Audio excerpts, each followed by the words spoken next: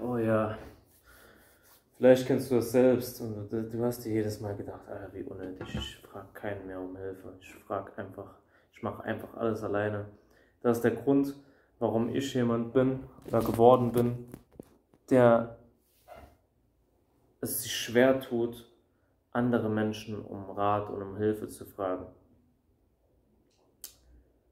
Ähm, du kennst das vielleicht, du hast mal jemanden um, um Hilfe gebeten und dieser Mensch hat dir auch geholfen.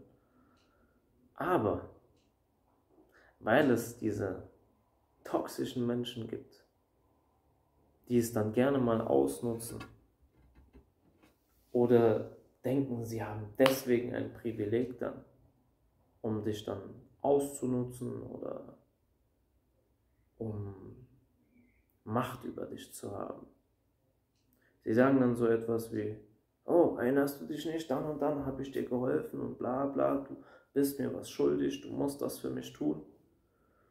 Und jedes Mal, wenn mir das passiert ist, habe ich mir gedacht, the fuck? Entweder du hilfst mir, weil du mir helfen wolltest, oder du machst es nur, um gegen mich was in der Hand zu haben. Und vorher konnte ich das nie verstehen, warum Menschen so etwas tun, weil ich bin jemand, wenn ich jemandem helfe, ich helfe aufrichtig, ich verlange nichts zurück. Nur natürlich, wenn ich merke, wie ich es auch öfters sage, dass nichts zurückkommt oder seltenst mal etwas zurückkommt, mache ich mir schon Gedanken so, ey, hat das überhaupt Sinn, diesem jemand die ganze Zeit zu helfen, wenn nichts zurückkommt? Wenn es so undankbar ist, diese Menschen nutzen mich die ganze Zeit aus. Aber jetzt ist das Szenario anders. Dieser Mensch hat dir geholfen. Einmal vielleicht hat sich einmal für dich krumm gemacht. Einmal hast du diesen Mensch gebraucht.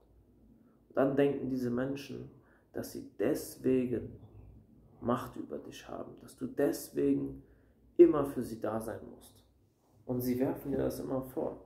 Erinnerst du dich nicht? Ich habe dir dann und dann geholfen, bla bla. Wenn du mal sagst beispielsweise, ey, so, sorry, ich habe heute keine Zeit.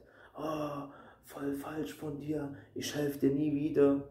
Das ist, das ist Narzisstenspruch Nummer eins. Dieses direkte, direkte Wut du hast gerade keine Zeit, und das ist mir auch oft passiert, ähm, dieses Szenario, deswegen kann ich darüber gut berichten.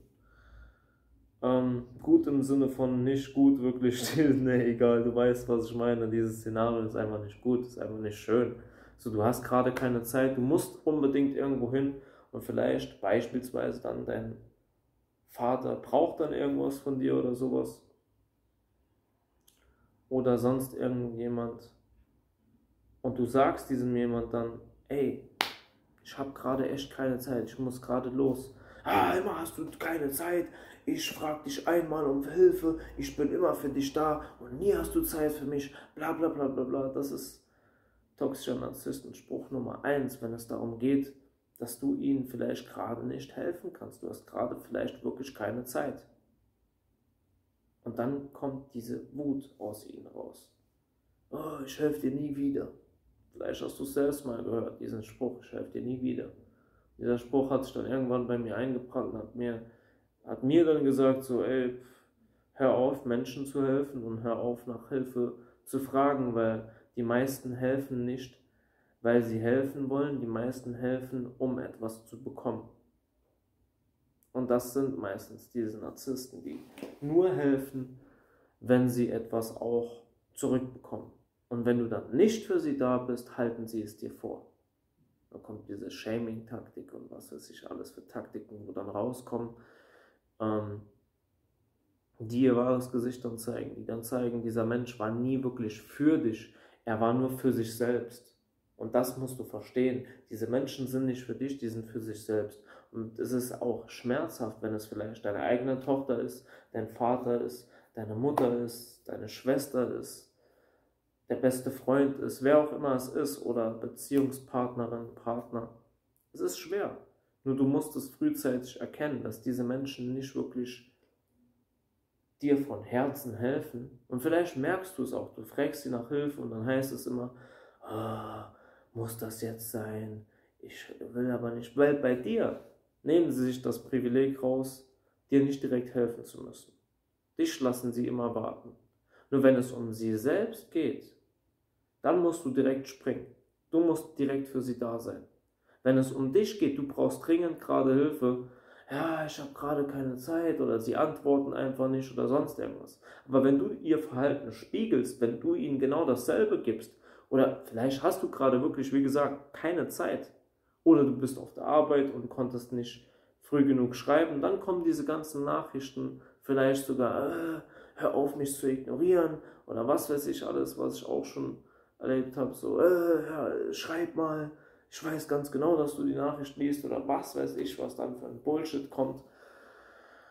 Du musst erkennen, auf jeden Fall, dass wenn du merkst, dass Menschen dir nur helfen, um etwas zurückzubekommen, damit sie vielleicht auch was gegen dich in der Hand haben, damit sie dann vielleicht sogar fünf Jahre später oder ein Jahr später, zwei Jahre später äh, dich deswegen manipulieren können, dass sie dann sagen, na, erinnerst du dich noch, da habe ich dir auch geholfen, ich habe dich da und da auch, da warst du so betrunken und ich habe dich da abgeholt und was weiß ich und du denkst auch, das ist alles selbstverständlich. Ich meine, dann kommt diese, weil das ist Nummer zwei. Nummer eins war ja, ich helfe dir nie wieder, wenn du, wenn sie nicht das bekommen, weil sie sind wie kleine Kinder. Sie wollen unbedingt Hilfe und wenn du gerade wirklich keine Zeit hast oder etwas Besseres gerade oder Wichtiges gerade zu tun hast, dann auf einmal kommt dieser Spruch, ja, ich helfe dir auch nie wieder, frag mich nie wieder nach Hilfe. Nummer zwei ist auf jeden Fall, was wollte ich sagen? Es ist dir vorhalten, auf jeden Fall. Erinnerst du dich noch? Es ist auch nicht so selbstverständlich. Ich habe extra meine Zeit für dich geopfert. Das ist diese Shaming-Taktik, um dich schlecht fühlen zu lassen, um dich zu manipulieren, dass du erkennst, wie wichtig diese Menschen sind. Weil diese Menschen ja lieben, es sich so wichtig zu machen. Die lieben das. So wichtig Tour zu sein. Zu sagen, so erinnerst du dich noch, ich habe mir extra die Zeit für dich genommen, ich habe extra meine Zeit geopfert, bin extra von da und da, da und da hingefahren, habe dich abgeholt, habe dies gemacht, habe das gemacht und halten dir alles vor, damit du dich schlecht fühlst. Das sind alles so ihre Taktiken. Es gibt bestimmt noch viele, viele, viele mehr. Nur ich will jetzt dieses Video nicht allzu lange machen. Ich wollte dir einfach nur sagen, sobald du merkst, dass jemand nur weil du gerade wirklich keine Zeit hast, weil ein normaler Mensch, ein stinknormaler Mensch, du hast diesem Menschen geholfen, dieser Mensch hat dir geholfen, wie auch immer. Er hat keine Zeit, du sagst, okay, nicht schlimm. Du verstehst es. Andersrum genauso. Er wird es verstehen, dieser Mensch. Er fragt dich nach Hilfe, du hast gerade keine Zeit, du schreibst oder sagst, oh, sorry, Bro, ich habe gerade wirklich keine Zeit. Das nächste Mal, ich bin auf jeden Fall für dich da. Nur jetzt gerade passt es wirklich nicht. Ich habe gerade das und das zu tun. Ein normaler Mensch wird es verstehen. Diese toxischen Menschen werden mit Wut kommen, weil sie denken, sie haben was gegen dich in der Hand. Du bist ihnen etwas schuldig. Diese Menschen denken immer, du bist ihnen etwas schuldig. Dein Vater denkt beispielsweise, du bist es ihm schuldig, weil er dich geboren hat. Deine Mutter genauso, weil sie dich auf die Welt gesetzt hat und du bist es ihr schuldig, dass du ihr hilfst, weil sie hat dich geboren. Dein Vater hat dich auf die Welt gebracht. Ohne ihn wärst du nicht hier. Vielleicht hast du das auch mal gehört. So kann ja auch sein. Es gibt verschiedene Dinge, verschiedene toxische Sprüche, die diese Menschen haben. Nur meine waren jetzt auf jeden Fall diese Wutphase so, frag mich nie wieder um Hilfe, ich helfe dir auch nie wieder und bla bla bla, habe ich so oft gehört. Und das andere ist, dich einfach schlecht fühlen zu lassen, dass du einfach dann ein schlechtes Gefühl hast, vielleicht dann sogar klein beigibst. So können sie dich manipulieren, weil sie sind wie kleine Kinder. Sie versuchen alles, um das zu bekommen und das zu kriegen, was sie wollen. Deswegen sei immer achtsam, wem du hilfst, sei immer bewusst, wem du hilfst, mit wem du es zu tun hast, ob dieser Mensch wirklich für dich ist oder gegen dich ist oder überhaupt für dich ist oder nur für sich selbst ist, weil diese Menschen sind nur für sich selbst. Diese Menschen sind Taker, die nehmen und nehmen und nehmen von dir. Wenn es um dich geht, du brauchst Hilfe, du brauchst Rat, du brauchst Halt, du brauchst Rück Rückendeckung, irgendwas. Du kannst gucken, du kannst schauen, diese Menschen sind nicht da. Oder vielleicht dauert es und dauert es und dauert es und sie lassen dich warten und dann vielleicht kommt ein Tag später eine Nachricht, sorry Bro, ich hatte heute keine Zeit oder sonst irgendwas, habe ich auch schon erlebt. So, ähm, oder keine Ahnung, du, du fragst sie und sie machen ein so großes Drama daraus. Kannst du das nicht mal alleine machen? Immer fragst du mich nach Hilfe, bla bla bla, sei doch nicht so, äh, du machst immer auf so hilflos, du kriegst das bestimmt auch selbst hin. Und die machen so ein großes Drama aus nix. Nur weil sie dir gerade helfen müssen. Nur weil du gerade mal Hilfe brauchst. Deswegen, aber ich will hier nicht irgendwie sagen, so, äh, du sollst jetzt immer nach Hilfe fragen. Natürlich, wenn du Dinge selbst meistern kannst, meister es selbst. Nur manchmal brauchen wir Hilfe und die, die Menschen, die uns nahestehen, sind auch meistens die, die wir nach Hilfe fragen. Und vielleicht sind es genau diese Menschen, die nicht wirklich für dich sind, die nur für sich selbst sind. Und das merkst du einfach an den Punkten, du hilfst ihnen, springst immer für sie, bist immer für sie da. Und sobald du mal keine Zeit hast, sobald du mal keine Zeit hast, wird alles gegen dich verwendet. Das ist also alles, was der Narzisst für dich getan hat, wird gegen dich verwendet. Auf jeden Fall. Alles. Erinnerst du dich noch da und da? Äh, ich habe das und das für dich. Alles wird gegen dich verwendet. Es ist wie vom Gericht. Alles kann und wird gegen dich verwendet werden. Genauso ist es. Genauso ist es. Deswegen sei nicht immer so selbstverständlich für andere da. Sei mehr für dich selbst da und selektiere die Menschen wirklich, die wirklich Gutes für dich tun und nichts für dich von, von, von dir verlangen. So, äh, es ist geben und nehmen. Das will ich damit sagen. Nicht, dass sie nichts verlangen, weil du solltest auch für diese Menschen da sein, die, die für dich da sind. Du sollst auch für sie da sein. Das ist selbstverständlich. Nur selektiere die Menschen und misste die Menschen aus, die dann es dir vorhalten und dir dich schlecht fühlen lassen, wenn du mal keine Zeit hast. Wie gesagt, ein normaler Mensch wird es verstehen. Der wird es dir nicht übel nehmen. Er wird sogar noch sagen, okay, alles klar, kein Problem, Bro. Aber diese fragilen, toxischen Menschen, diese kleinen Weicheier, werden es dir übel nehmen und werden ihre übelsten Karten rausspielen oder ausspielen, wie auch immer das heißt. Die werden ihre übelsten Karten ausspielen. Sie werden dich schlecht fühlen lassen, sie werden dich versuchen zu manipulieren, sie werden es dir vorhalten, sie werden mit Wut kommen und was weiß ich, alles, alles wird gegen dich verwendet. Deswegen nichts ist selbstverständlich für diese Menschen.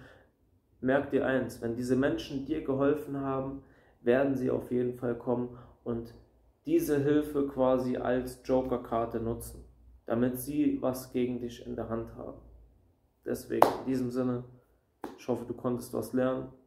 Ich versuche die Videos jetzt mal wieder etwas kürzer zu machen. Und ja, das ist, warum Narzissten alles gegen dich verwenden, wenn du ihnen hilfst. Oder nein, nicht wenn du, wenn sie dir geholfen haben. Sie werden alles gegen dich verwenden. Sie haben dir geholfen und fühlen sich deswegen dann berufen oder wie soll ich sagen, sie haben dir geholfen und ich denke, der beste Beweis dafür oder der, der beste, das, das Beste, was man dazu sagen kann, sage ich es mal so, ist, dass sie es als Joker-Karte nutzen. Das ist ihre Gefängnisfreikarte, so in Anführungszeichen. So, das ist ihr, ihr Joker für alles. Erinnerst du dich noch da und da? Erinnerst du dich noch das? Vergiss nicht, wer dir geholfen hat, wenn, wie es dir schlecht ging. Vergiss mich nicht, wie, wie ich für dich da war. Das ist so äh, respektlos jetzt. Immer hast du keine Zeit für mich und sie machen ein Drama draus. Deswegen, diese Menschen lieben Drama. Fütter sie nicht und sei nicht so selbstverständlich für diese Menschen da. In diesem Sinne, wir sehen uns im nächsten Video. Peace out.